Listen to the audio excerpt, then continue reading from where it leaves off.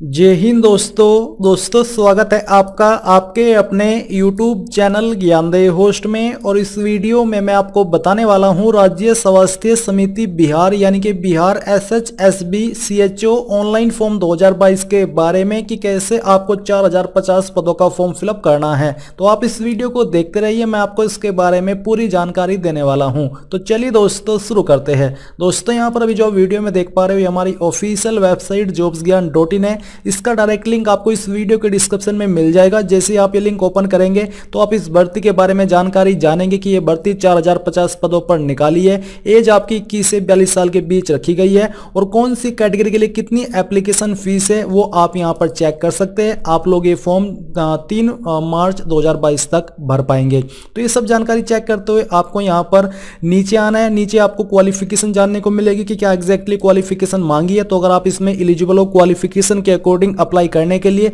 Then आपको नीचे apply online link इसके ऊपर क्लिक करना है। इसके ऊपर क्लिक करने के बाद आपके सामने वेबसाइट आ जाएगी। अब आपको यहाँ पर सबसे पहले रजिस्टर न्यू कैंडिडेट इसके ऊपर क्लिक करना है। इसके ऊपर क्लिक करने के बाद आपके सामने रजिस्ट्रेशन का पेज आ जाएगा। अब आपको यहाँ पर सबसे पहले कैंडिडेट फ़र्स्ट नेम यानी कि आपको आपका नाम टेंथ की मार्कशीट के अनुसार एंटर करना है, जो कि फ़र्स्ट नेम होना चाहिए। अगर मिडिल नेम है तो यहाँ पर डाल दीजिए, नहीं तो खाली छोड़ दीजिए। फिर आपको लास्ट नेम अपना एंटर करना है। अब आता है आपका पोस्ट अप्लाइड फॉर जो कि बेसिकली कम्युनिटी हेल्थ ऑफिसर यानी कि सीएचओ है तो यहाँ पर ये ऑलरेडी दी गई है।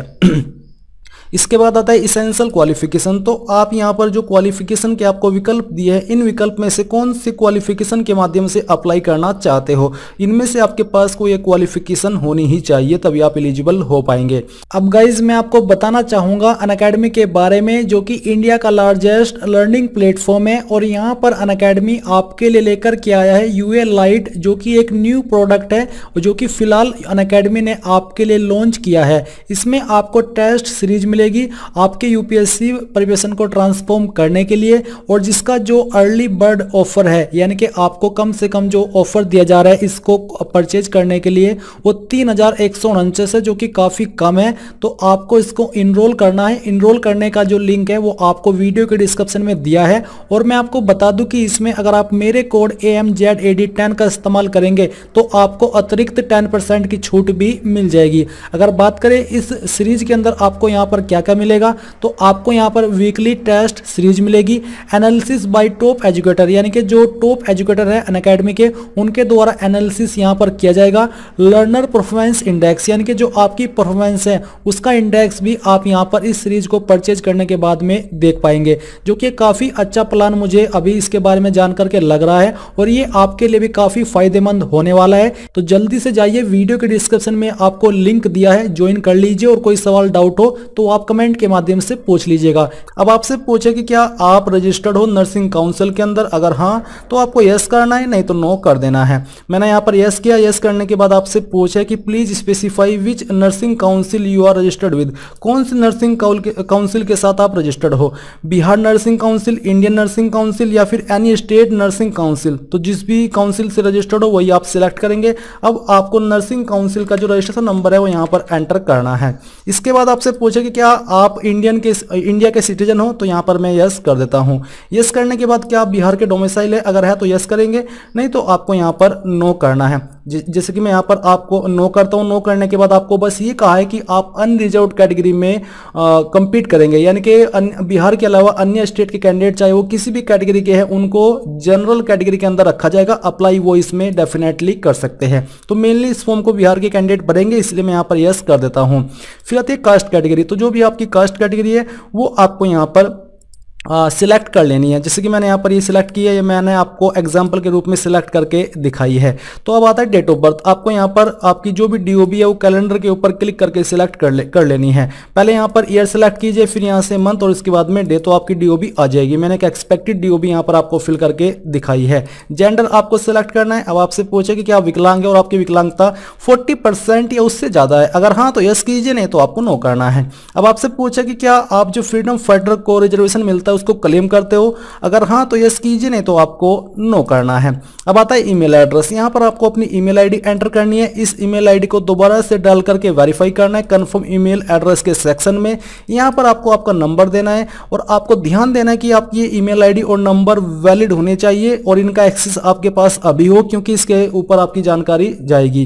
तो यहाँ पर अब ये कैप्चर कोड फिल करने के बाद आपको आई एक्सेप्ट इसके ऊपर क्लिक करना है और इन सभी जानकारी को वेरीफाई करके सबमिट एंड कंटिन्यू इसके ऊपर क्लिक करना है। अब यहाँ पर दोस्तों आप देखेंगे कि आपका जो रजिस्ट्रेशन है, वो आपका कंप्लीट हो चुका है और आपको आपका एप्लीकेशन नंबर मिल चुका है और जो आपका पासवर्ड है, वो आपकी डीओबी है। तो आपको यहाँ पर लॉगिन टू कंटिन्यू इसके ऊपर क्लिक करना है, उसके पहले आपको इस जानकारी को सेव कर लेना है। जैसे आप लॉगिन टू कंटिन्यू के ऊपर क्लिक करेंगे, आपके सामने लॉगिन पेज आएगा। यहाँ पर आपको आपका एप्लीकेशन नंबर एंटर करना है डेट ऑफ़ बर्थ सेलेक्ट करनी है, एक कैप्चा कोड फिल करना है और लॉगिन के ऊपर क्लिक करना है। लॉगिन के ऊपर क्लिक करने के बाद यहाँ पर आपके सामने डैशबोर्ड आपका आ जाएगा जो कि कुछ इस प्रकार प्रकार का होगा। यहाँ पर आपकी कुछ पर्सनल डिटेल फिलअप की गई है और कुछ जानकारी अभी आपको यहाँ पर भरनी है। जैसे कि यहाँ पर दोस्तों, आपसे आपका फादर नेम मांगा गया है। तो जो भी आपका फादर नेम है, वो यहाँ पर आपको टेंथ की मार्कशीट के अनुसार एंटर करना है। फिर आपको यहाँ पर आपकी माताजी का नाम एंटर करना है। आधार कार्ड नंबर आपका जो भी है, वो यहाँ पर आपको एंटर कर देना है। मैरिटल स्टेटस आपको बताना है कि क्या आपका स्टेटस है। इसके बाद यहाँ पर आपका नीचे आता है एड्रेस फॉर कॉरस्पॉन्डेंस यानी कि प्रजेंट एड्रेस। तो जो भी प्रजेंट एड्रेस है, वो यहाँ पर आप फिल करेंगे। आपको यहाँ पर अपना पूरा एड्रेस एंटर करना इन तीन बॉक्स के अंदर। तो चलिए हम यहाँ पर इसको एंटर कर देते हैं। ये करने के बाद यहाँ पर आता है स्टेट तो आपकी जो भी स्टेट है वो आप यहाँ से सिलेक्ट कर लीजिए। डिस्ट्रिक्ट यहाँ पर आपकी आपको सिलेक्ट करनी होगी। जैसे कि जो अन्य स्टेट के कैंडिडेट हैं, उनके सामने भी यहाँ पर डिस्ट्रिक्ट के ऑप्शन आ चुके हैं। तो मैं यहाँ से सहारनपुर सिलेक्ट कर लेता हूँ। अब आपको आपका पिन कोड यहाँ पर एंटर करना है। अब नीचे है आपका परमानेंट एड्रेस यानी कि स्थायी पता। तो अगर आपका प्रजेंट और परमानेंट एड्रेस सेम है तो आप यहाँ पर टिक कर दीजिए। टिक करने के बाद ये एड्रेस आपका यहाँ पर नीचे ऑटोमेटिकली आ जाएगा। फिर यहाँ पर दोस्तों आती है आपकी एजुकेशनल क्वालिफिकेशन यानी कि शैक्षणिक योग्यता।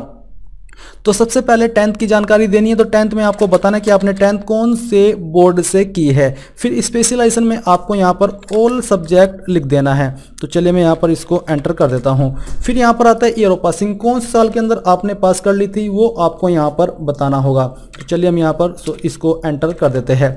फिर आता है मैक्सिमम मार्क्स मैक्सिमम मार्क्स कितने थे, सभी सब्जेक्ट को मिला करके वो आपको एंटर करने उसमें से जो नंबर आपको आए थे, वो यहाँ पर डाल देने परसेंटेज आपकी आ जाएगी। फिर जो आपने क्वालिफिकेशन सेलेक्ट किया है, उसकी जानकारी आपको देनी है। अब यहाँ पर आपको या तो आपके काउंसिल का नाम देना है या फिर आपकी यूनिवर्सिटी का नाम देना है, जहाँ से आपने ये क्वालिफिकेशन की है। तो चलिए हम यहाँ पर ये एक एक्सपेक्टेड नेम दे रहे हैं आपको बताने के लिए।